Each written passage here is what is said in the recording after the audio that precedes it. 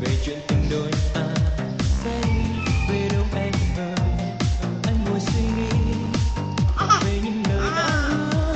Sợ rằng sẽ chỉ là mơ. Nếu là duyên số, cho dù đến hết cuộc đời muốn xa vẫn sẽ bên nhau.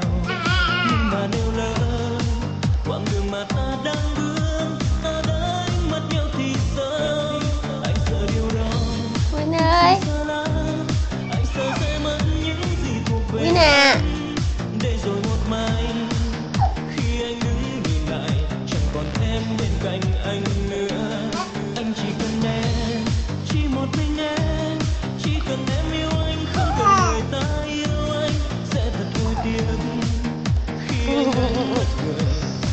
Quyên à.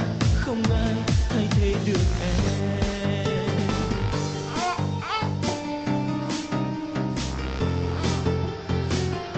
Quyên à